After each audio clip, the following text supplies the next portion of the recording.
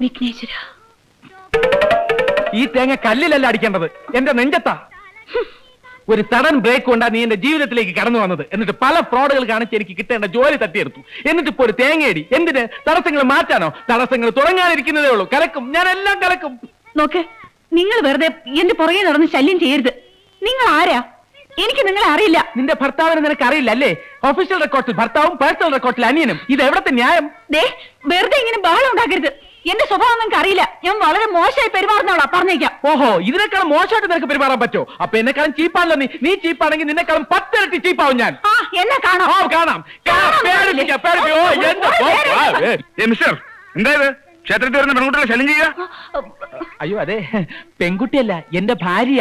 ഞങ്ങൾക്ക് മുല കൊടുക്കുന്ന ഒരു കുഞ്ഞുള്ളതാ. കുഞ്ഞിന് മുല കൊടുക്കാതെ വന്നതിന്റെ പേരിൽ ഞാൻ വഴക്ക് പറയായിരുന്നു. എനിക്ക് എന്തെങ്കിലും ചെയ്യാൻ പറ്റുമോ? ഇപ്പോഴത്തെ പെണ്ണുങ്ങളല്ലേ ബേബി ഫുഡ് സംസ്കാരം. അതുകൊണ്ട് ഞാൻ പറഞ്ഞു മനസ്സിലാക്കായിരുന്നു വളരെ ഉപകാരം. വരട്ടെ. കാണാം.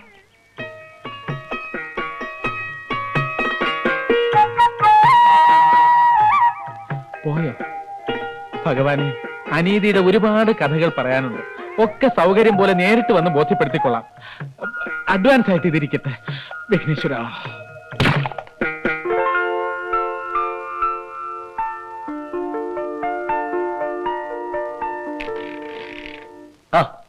ഇതാരാ?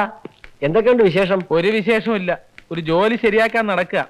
എന്നാലും ആശ എനിക്കിട്ട് അങ്ങനെ പണിയുണ്ടായിരുന്നു. അന്ന് ആ കൊനസ്റ്റ് ക്രിക്കറ്റിന്റെ കാര്യം എടുത്തിട്ടില്ലായിരുന്നെങ്കിൽ ഞാനും ഇപ്പൊ ഇതിനകത്തിരുന്ന് പണിയെടുക്കേണ്ടതാ. കൂടുതൽ നമ്പർ ഇടല്ലേ? ആദ്യം ഭാര്യക്ക് ജോലി ഒപ്പിച്ചു കൊടുത്തിട്ട് സാവധാനം നിങ്ങൾക്ക് കൂടി ഇതിനകത്ത് കയറി പറ്റാനുള്ള പണിയല്ലേ? അല്ല അവർ ഒന്നും പറയണ്ട. ഇങ്ങനെ തന്നെ ഇവിടെ പലരും ജോലി കയറിയിരിക്കുന്നത് ഇത് ചെയർമാൻ വന്നിട്ട് അറിയുകയും ചെയ്യാം. ആ നടക്കട്ടെ.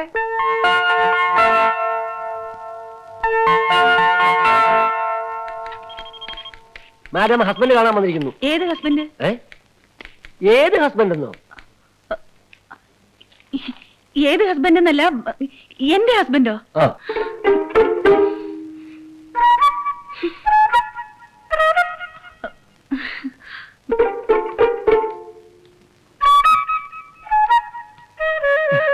എന്താ?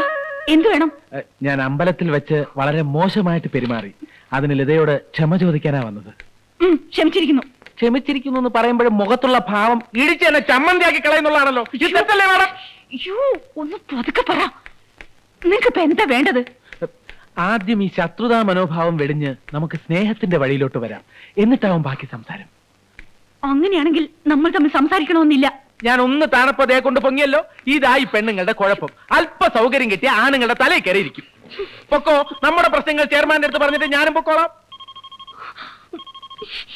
വന്ന കാര്യം പറഞ്ഞു തൊലക്ക് അയ്യോ അത് അങ്ങനെ അങ്ങ് പറഞ്ഞു തീർക്കാൻ പറ്റില്ല. വളരെ പേഴ്സണൽ കാര്യങ്ങളാ. അല്പ സമയം എടുക്കും. ഇരിക്കും. എന്റെ ഓഫീസിൽ വെച്ചല്ല തന്റെ പേഴ്സണൽ കാര്യങ്ങൾ ഡിസ്കസ് ചെയ്യേണ്ടത്. വെരി കറക്റ്റ് എന്നാ നമുക്ക് പുറത്ത് എവിടെയെങ്കിലും വെച്ച് മീറ്റ് ചെയ്യാം. എന്താ?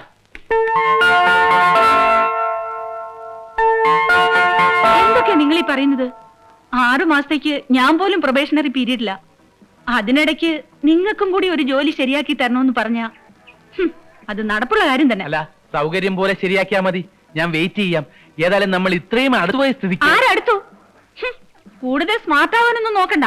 ദേ ഓഫീസിൽ വെച്ചായതുകൊണ്ട് ഞാനൊന്നും പറഞ്ഞില്ലെന്നേ ഉള്ളൂ. തനിക്ക് വട്ടി വിളിപ്പിക്കാൻ അത്ര പൊട്ടിപ്പെടൊന്നുമല്ല ഞാൻ. അതിന് വേറെ ആളെ നോക്കണം. ഈ ലതയുടെ ഓരോ തമാശ എപ്പോഴെങ്ങനെ ആദ്യം തമാശയൊന്നും വേണ്ട. ജോലി വാങ്ങിച്ചു തരുന്ന കാര്യം ഞാൻ പിന്നീട് നോക്കാം. ഞാൻ പോവാ. അല്ല കാര്യങ്ങൾക്കൊക്കെ ഒരു തീരുമാനമാകാതെ അങ്ങനെ പോയാലെങ്ങനാ? തീരുമാനോ? അല്ല എന്റെ ഭാര്യയാണെന്ന് പറഞ്ഞാണല്ലോ ജോലി കയറിയത്? ആണോ എന്നാ ചോദിച്ചത്? അതെ. ആ ഭാരതത്തിൽ നിലവിലുള്ള സാമൂഹ്യ വ്യവസ്ഥ അനുസരിച്ച് ഭാര്യയുടെ ശമ്പളം ഭർത്താവിന് കൂടെ അവകാശപ്പെട്ടതാണേ. ഞാൻ പറയുന്നൊന്നും എതിർക്കാൻ പറ്റാത്തതിന്റെ ദേശീയ മുഖത്ത്? നോക്കട്ടെ. ആ നന്നായിട്ടുണ്ട് നന്നായിട്ടുണ്ട്. സോ ഞാൻ പറഞ്ഞുകൊണ്ട് വന്നത് എനിക്കൊരു ജോലി ശരിയാക്കി തരുന്നത് വരെ മാഡത്തിന്റെ ശമ്പളത്തിന്റെ ഫിഫ്റ്റി പെർസെന്റ് എല്ലാ മാസവും കൃത്യമായി എനിക്ക് കിട്ടണം. ഓക്കെ സാധ്യമല്ല. നാണമല്ലല്ലോ തനിക്ക് ഇങ്ങനെയൊക്കെ ചോദിക്കാൻ. ബേസിക്കലി മൊത്തത്തിൽ എല്ലാ കാര്യത്തിലും അല്പം നാണക്കുറവുള്ള പാർട്ടിയാ ഞാൻ. ഇത് അതുകൊണ്ടൊന്നുമല്ല വേറെ വഴിയില്ലാഞ്ഞിട്ടാ ശരി. അമ്പത് ശതമാനം ഞാൻ തന്നില്ലെങ്കിൽ? അങ്ങനെ ഒരു പ്രശ്നം ഉണ്ടായില്ലെന്ന് എനിക്കറിയാം. മാഡത്തിനൊരു ജോലി അത്രയും അത്യാവശ്യമല്ലായിരുന്നെങ്കിൽ ഇതുപോലെ ഒരു കള്ളം പറയുമായിരുന്നു. ഓ ഈശ്വരാ. എന്റെ കഷ്ടകാലത്തിനാ ഇങ്ങനെ ഒരു കള്ളം പറയാൻ എനിക്ക് തോന്നിയത്. അതിന് ഇത്രയും വില കൊടുക്കേണ്ടി വരുമെന്ന് സ്വപ്നത്തിൽ പ്രതീക്ഷിച്ചില്ല അല്ലേ? എല്ലാം നല്ലതിനാണെന്ന് കരുതിയാൽ മതി. അല്ല മാഡം ഇനി എമൗണ്ടിന്റെ കാര്യത്തിലാണ് തർക്കമെങ്കിൽ ഈ പകുതി എന്നുള്ളത് മൂന്നിലൊന്നാക്കാൻ എനിക്ക് വിരോധമില്ല. എന്തു പറയുന്നു? നാശം പിടിക്കാൻ. സമ്മതിച്ചു. എന്നാ കൈ തന്നെ? എന്തിന്? കയ്യിലടിച്ച് സത്യം ചെയ്യാൻ. ദേഹത്ത് തൊട്ടുള്ള സത്യം ഒന്നും വേണ്ട. ഞാൻ പറഞ്ഞ പറഞ്ഞതാ. ഒരു മിനിറ്റ്. നിന്നെ ഒരു ചെറിയ ബില്ല് കൂടെ കൊടുക്കാനുണ്ടായിരുന്നു. ഒരു നാരങ്ങ വെള്ളം ഒരു പ്ലേറ്റ് ബജ്ജി.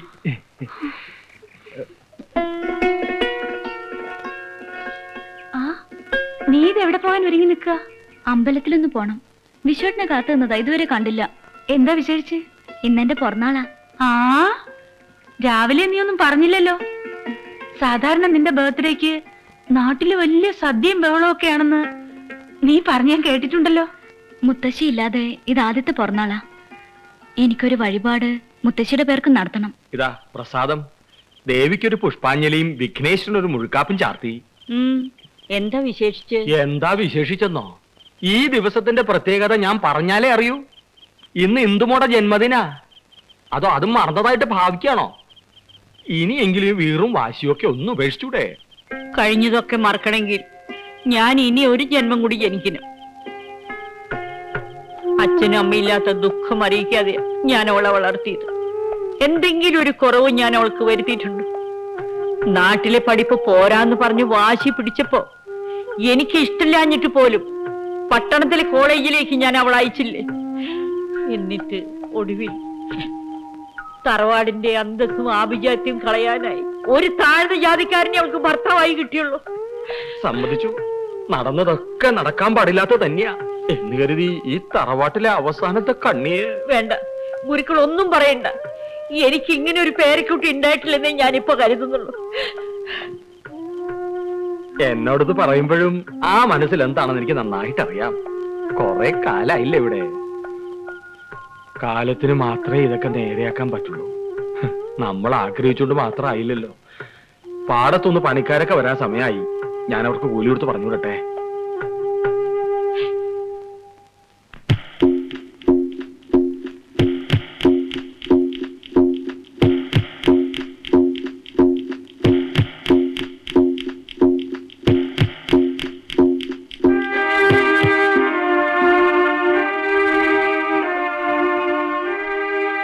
എല്ലാം ആലോചിച്ചിട്ടാണോ വിശ്വ ഈ തീരുമാനം എടുത്തത്? കുറച്ചു നാളത്തേക്ക് ഇവിടെ നിന്ന് മാറി നിന്നില്ലെങ്കിൽ ആകെ കുഴപ്പമാ. കസ്റ്റമേഴ്സ് ഒക്കെ എന്തു പറഞ്ഞാലും കൺവിൻസ്ഡ് ആവാത്തൊരവസ്ഥയാ. എന്റെ ഈ അവസ്ഥ മാക്സിമം മുതലാക്കാൻ ശ്രമിക്കുകയാണ് ആവറാച്ചൻ. എത്രയും വേഗം അയാളുടെ പണം കൊടുത്തു തീർത്തില്ലെങ്കിൽ ചിലപ്പോൾ പ്രോപ്പർട്ടി മുഴുവൻ അയാളുടെ കയ്യിലായിരുന്നിരിക്കും എനിക്ക് ഏറ്റവും പ്രതീക്ഷയുണ്ടായിരുന്ന ഒരു പ്രോജക്റ്റ് ആയിരുന്നു ഇത്. അതിനിങ്ങനൊരു വിധി. പക്ഷെ തോറ്റു പിന്മാറാൻ ഞാൻ നിശ്ചയിച്ചിട്ടില്ല.